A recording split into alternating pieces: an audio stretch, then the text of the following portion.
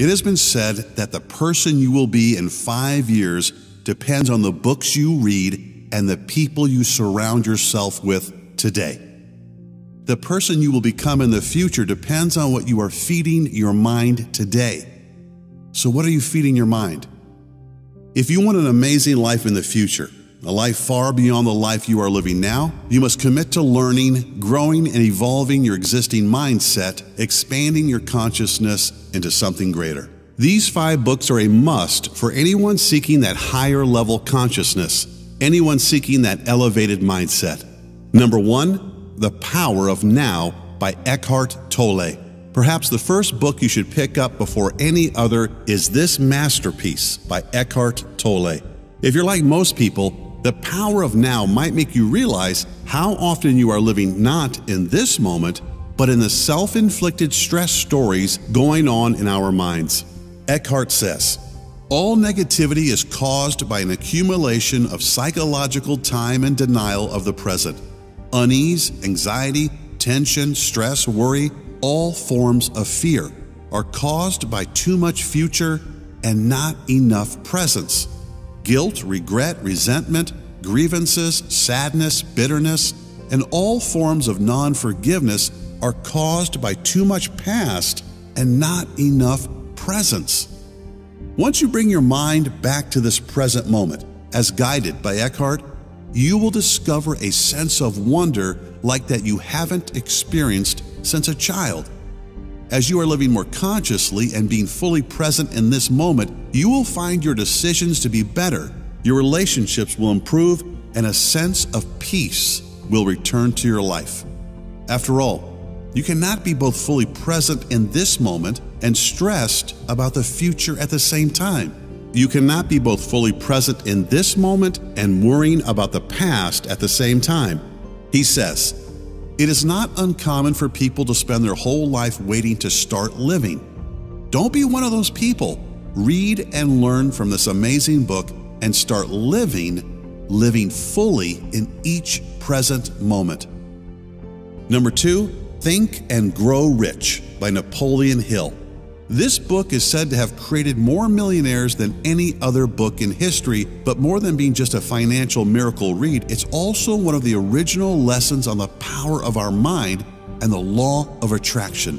In Think and Grow Rich, you'll learn how to achieve anything you want in life, material or non material. You'll learn from some of the greatest minds in the history of planet Earth and be guided step by step on how to achieve balance, happiness, and abundance in every area of your life.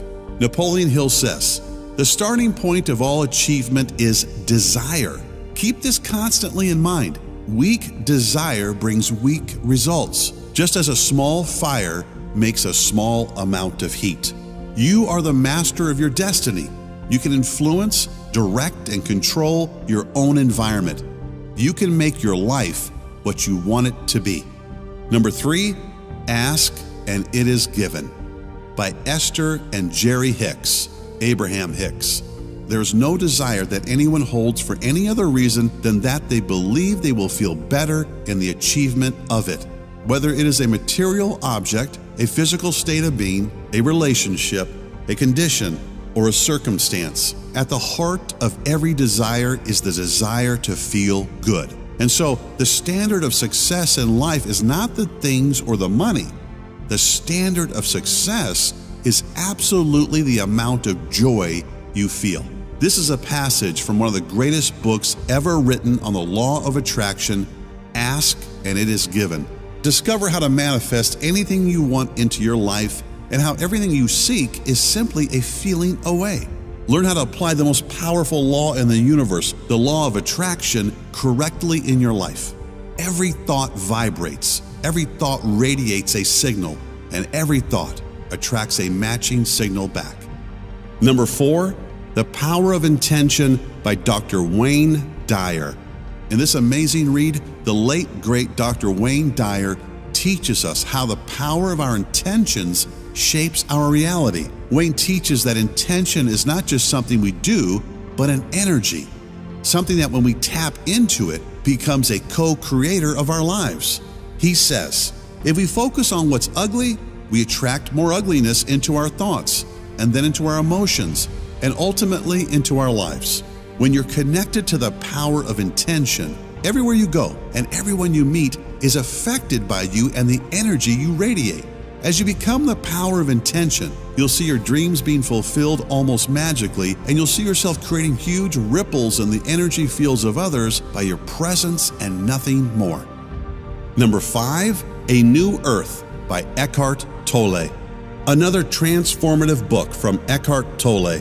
In this book, you'll discover the joy of just being, being alive on this earth in your human body. You'll learn that you are good enough and there is no need to compare yourself to anyone. You'll learn to let go of any fears or anxieties and start living with the real joy and peace that is already inside you.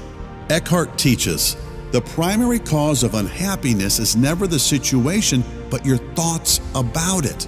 He also teaches how we must accept each moment as if we had chosen it, saying, Life will give you whatever experience is most helpful for the evolution of your consciousness.